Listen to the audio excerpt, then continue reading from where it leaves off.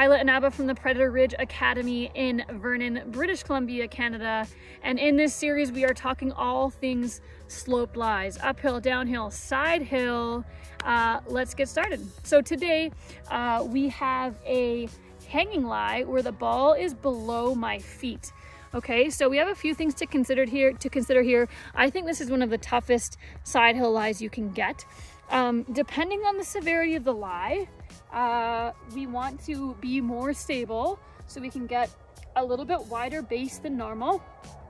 Um, we want to, in this scenario, really make sure we can stay hinged over for a little bit longer, okay? Unlike when the ball was above our feet, okay, we can stay hinged over and instead of a baseball swing, we might need to be a little bit more vertical if we go baseball, we're gonna completely miss or top the ball. So we do need to get the club moving up a little bit quicker, and then we need to stay flexed for a little bit longer to get a good connection. So take a practice swing here.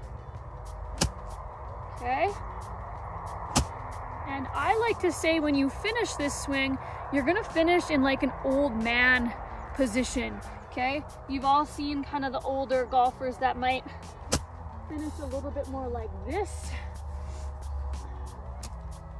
Okay, where they're a little bit more hunched over. I call that the old man finish. That's something that we might want to consider here. Okay, so a few practice swings, you're really stable. You're gonna get that club moving a little bit more vertical, a little bit quicker, and you're gonna finish in that old man position.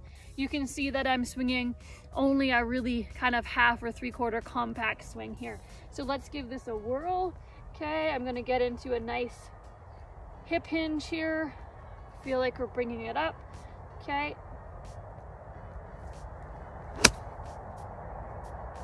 And you can see I keep my finish flex for a little bit longer in that old man finish position.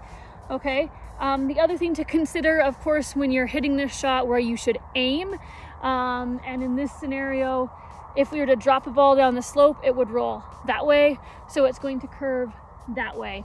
That's a great way to, to remember it. So as a right-handed golfer on a down where the ball is below your feet, it's gonna curve to the right, okay? So give that a try, give that a whirl next time you have a hanging lie where the ball is below your feet.